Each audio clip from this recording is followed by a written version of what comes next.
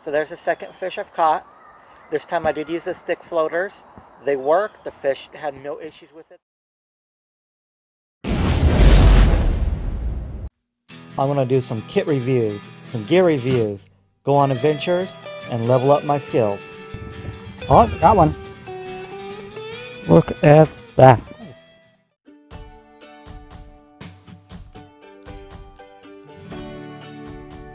Okay, today I'm going to be using my rodless reel, a quick buoy setup, circle hook, swivel, and lure.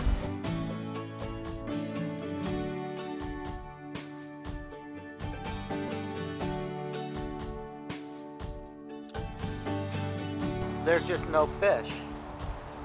The water's very clear. I can see clearly, I know, at least 20, 30 feet out, I can still see clearly to the bottom.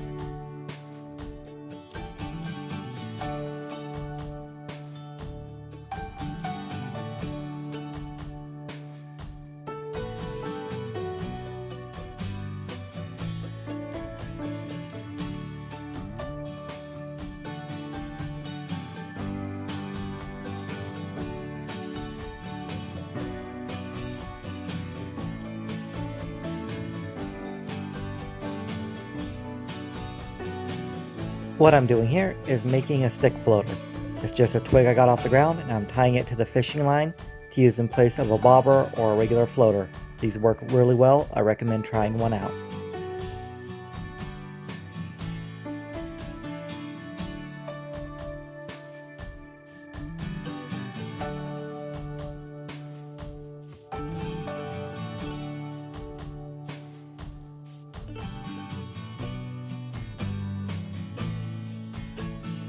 So there's the second fish I've caught.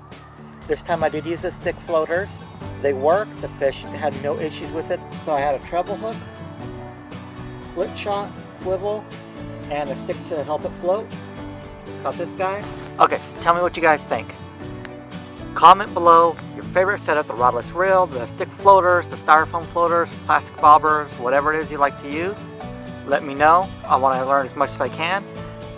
And yeah, it's nice to know that if you run out of floaters, just stick. I don't even need a split shot. The stick is enough of a weight, but just this, and I didn't even do a good job tying it. But point being is, that's all you need, and you can catch a fish.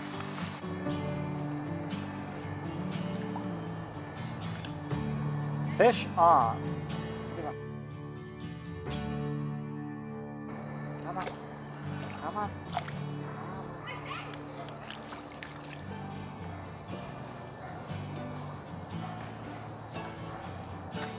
Alrighty.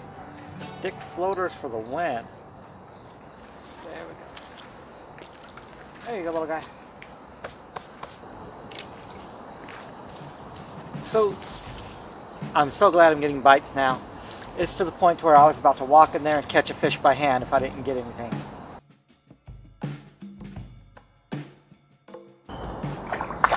Yep, got him. There we go. What is this, number five, number six? I think five. Ooh, and it's a pumpkin seed. Pumpkin seeds are always beautiful. Oops. Bye-bye.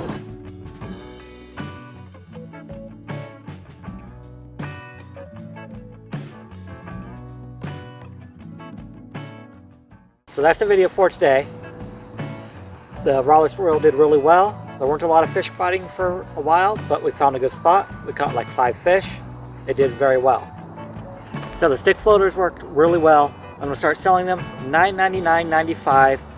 Shipping and handling not included. Allow six to 10 months for delivery. They seem to be like camouflage and sticks are natural in the environment. They float around in the water all the time. The fish did not mind them at all. They came up to it very easily. They were not hesitant and in fact seemed to work a little better than lures because they already could see the worm so there was nothing that else needed to attract them.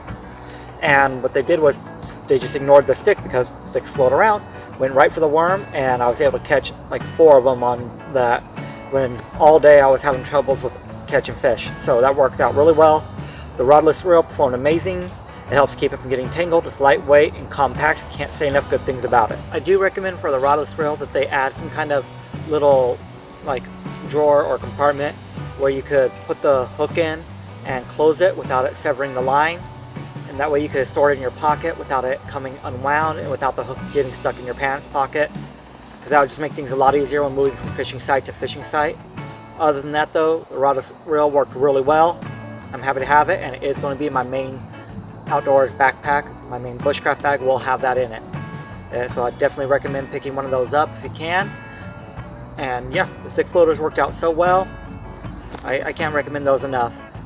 They are quick, easy, tie the line around it and you're done. And yes, regular floaters work extremely well too. I use those all the time and will continue to do so. It's just nice to know that if you don't have one available for whatever reason, that you can just simply use a backup and have more primitive skills. Even if it's just tying a knot around a piece of wood, if it helps you get dinner. Until next time, keep moving.